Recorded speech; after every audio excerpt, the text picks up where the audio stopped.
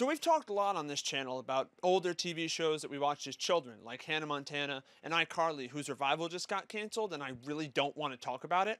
But this week we're going to talk about something completely different. Let's go to the topic chart to see what this week's topic is. Yeah, just kidding. We're going to be talking about Victorious, you goddamn idiots. Did you not did you click on the Did you see what the title of the video? Did you click on the video?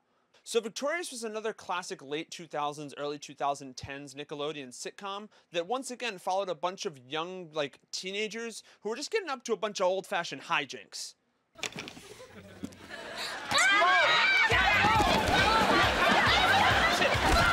and it was spearheaded by the almighty foot god, Dan Schneider, known 2000's head of Nickelodeon and overall creep. Shameless plug.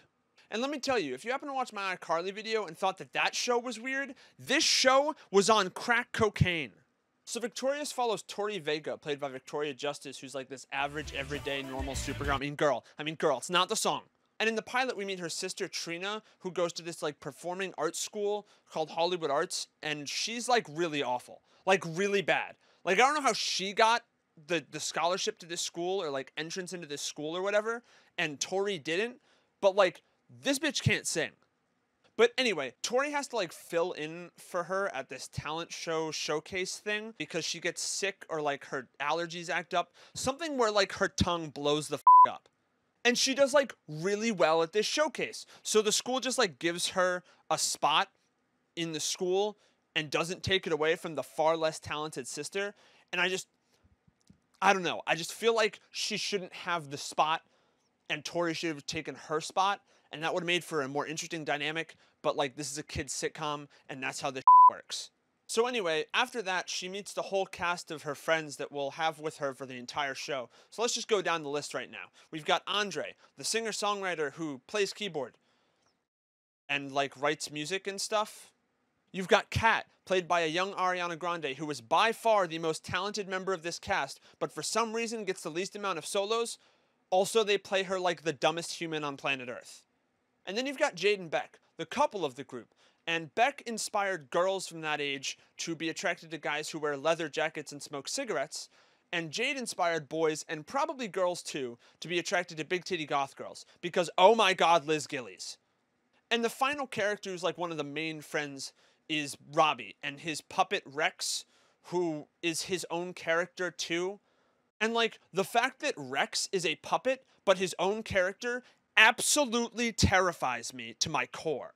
So like before we talk more about Rex, because oh, don't worry, we'll get there. Robbie like sabotages all of the plans that the friends make and like gets all of them into trouble all the time. And he's always like the spearhead for being the troublemaker, but then plays it off like the cool, innocent guy. He also simps for all of the girls in the group at some point throughout the show, and it kind of gets really annoying. But Rex, like, Rex bullies everyone, including Robbie. But he's a puppet, and Robbie's controlling him. Like, why is the puppet the sass the sassiest I don't like the way he's looking at me. The sassiest member of the group. Like, why is he the meanest one? He bullies everyone. Like, is it Rex or is it Robbie? And if it's Robbie, why do the friends keep letting Robbie get away with this? Like, why is this a thing that they just let happen? Have they come to terms with the fact that Rex, as a puppet, is a sentient creature that's just living amongst them and they just have to deal with this living puppet? Because, like, if that's the case, I have a lot more questions.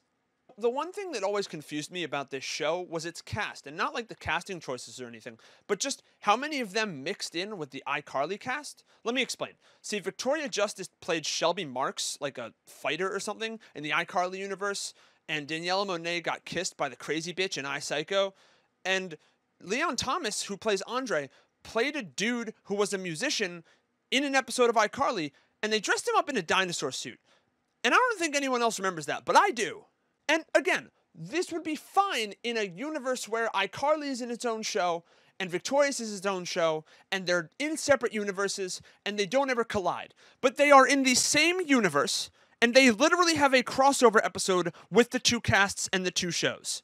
And not only that, there's also Sam and Cat, the spin-off show that literally combines Sam from iCarly and Cat from Victorious and puts them together in their own show with both casts kind of coming and going between episodes and whatnot. Like, do those characters coexist in the same universe with these other characters now? Do all of the Victorious cast know about famous fighter Shelby Marks? Will I ever truly be happy? So, similar to iCarly, there are a lot of really weird episodes of Victorious. But this week, since I didn't want to make this video like 30 minutes long, I decided to handpick three episodes that I thought were some of the weirdest episodes of Victorious, and I'm sure there are weirder, and I'm sure you're going to comment that, but make sure to comment that and like subscribe and whatnot so I don't cry myself to sleep. So the first episode we're going to be looking at is the season finale of the first season of the show, Sleepover at Sikowitz's. And let me just explain Sikowitz to you real quick. You know what? I'm feeling really lazy and didn't write a bit for this, so I'm just going to have a video explaining to you what Sikowitz is. My God, there's a huge fire! kidding, kidding! Just wanted to get your blood pumping, which I did. oh, I'm sorry, I was sucking the milk out of this coconut. Hey, Sikowitz, I forgot to ask you a question about the homework. We'll never know her question. Okay, so now that that video is done, that guy hosts a sleepover with just the students at his place of residence. That guy, that one, hosts a sleepover of high school children at his home with no adult supervision. And the parents sign off on it and they just are at his house. This guy, that guy, people let that guy have children in his house unsupervised. Again, because I don't, I don't think you're getting the point. They, they, they let him have the children in his house for a sleepover with no other parents or adults around. And they aired this on television. Anyway, so each of the cast members has to like a different character they have to be in the whole night. Um, and if they break character, they have to leave the house. And if they end up being in character the whole night, they end up getting what was what did they get again? Nothing. They got nothing for staying at his house unsupervised in character. Not even like extra credit? Nothing? Just nothing? Okay. Do you not see the problem with this? The next episode we're going to be looking at is an episode that was a little bit prior to this called Cat's New Boyfriend, um, but not because of the actual plot of Cat dating one of Tori's ex boyfriends. Uh, that does not matter to me. The focus of this episode to me was the Puka Fish subplot. Because this, for me, is when I realized as a child that Dan Schneider has a foot fetish. See, Trina discovers puka fish, which are these fish that like eat the dead skin off of your feet. So your feet become like really smooth, like a baby's bottom, which is something they continued to say on the episode of the show, and it really creeped me out. So she gets a bunch of Tori's friends to like try this puka fish dead skin eating thing out, and all of their feet become like really smooth, and it's really cool. And they everyone like starts rubbing their feet. Like, uh, why are they rubbing their feet? But then they all start getting really sick, like hospitalized level sick, because apparently these puka fish were like super toxic and cause you to get really, really sick. And somehow, like, even though they're banned in America, Trina just got them. This high school age girl got these banned toxic fish into America with enough of them to serve multiple people at once to eat the dead skin off their feet. And, like, yes, that in itself is a weird ass plot for an episode of television. But then I think about how many times it just panned to their feet and people rubbing their feet and the fish eating at their feet and touching the feet and all of the feet things. And I realized that Dan Schneider made this episode so he had an excuse to point the camera at all of these people's feet the entire time. And finally, we've got probably the weirdest thing that I've ever seen a kids sitcom do. At the end of season two of Victorious, they did a show where they just went over the bloopers from the episodes of the show.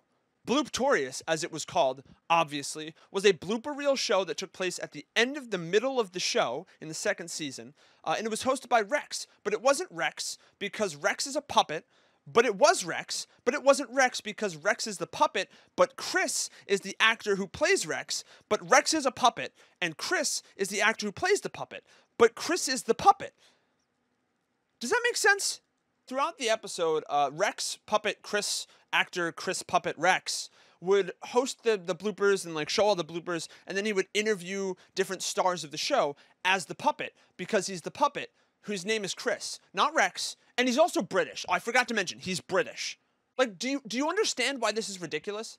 Like, especially since it's in the middle of the show. If this was like the end of the show, like the last episode of the show, or even like in the last season of the show, it would be reasonable to do like a nostalgic look back on the show or like the blooper reel of the show to be like, hey, here's the entire show's blooper reels encapsulated. No, you. You're going to get two seasons of the blooper reels, and then we're not going to do another one for the second half of the show.